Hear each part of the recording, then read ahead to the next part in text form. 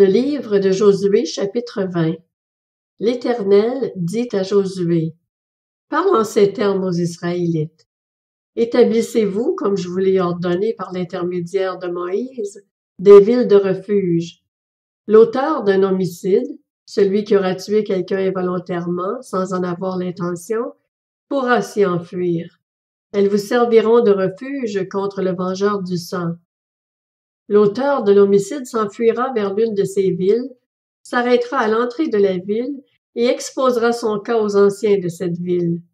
Ils l'accueilleront chez eux dans la ville et lui donneront un endroit où habiter avec eux.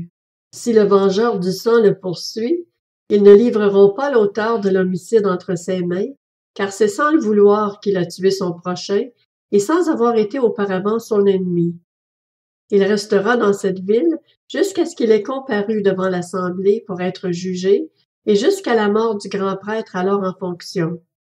À ce moment-là seulement, l'auteur de l'homicide pourra repartir et retourner dans sa ville et dans sa maison, dans la ville d'où il s'était enfui.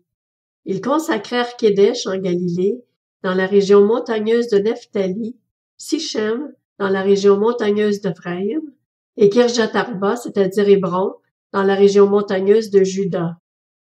De l'autre côté du Jourdain, à l'est de Jéricho, ils choisirent Betzer dans le désert, dans la plaine, dans la tribu de Ruben, Ramoth en Galaad, dans la tribu de Gad et Golan en Bassan, dans la tribu de Manassé.